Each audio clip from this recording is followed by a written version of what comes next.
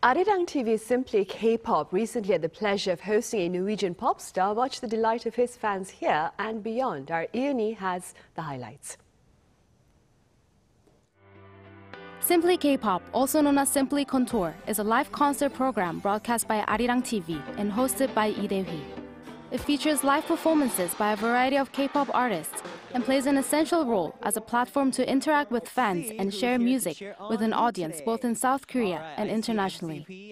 In this week's episode, Norwegian pop star Peder Elias took to the stage as a special guest, where he shared his eagerness to connect with his dedicated fan base. 안녕하세요. My name is Peder Elias. I am an artist, singer-songwriter from Norway, and uh, yeah, love being in Korea and playing shows and meeting all the beautiful people here, and excited to do this interview right now.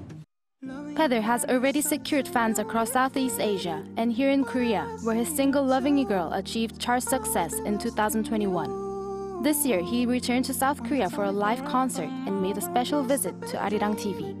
Then I also heard later that this was the show where uh, international artists Yeah, yeah, uh, go as well, so then I thought that would be really cool. Simply K-pop Con-Tour is also seeking to make its shows more inclusive by producing special country-themed episodes where they invite fans from those countries to join the broadcast remotely. The show became a platform for Peder to share his music with an even broader audience. I think it was almost like uh, love at first sight. For me, it was um kind of Koreans were the first people that like really, really started listening to my music. So therefore, it would like natural kind of special bond because uh, they changed a lot for me and gave me a lot of opportunities through like discovering first my song Bonfire, and later lots of more songs. Over the years, Simply K-pop has hosted a range of K-pop artists, including global superstars like BTS, reaffirming its status as a stage where well-known K-pop artists and emerging talents come together to share their passion for music.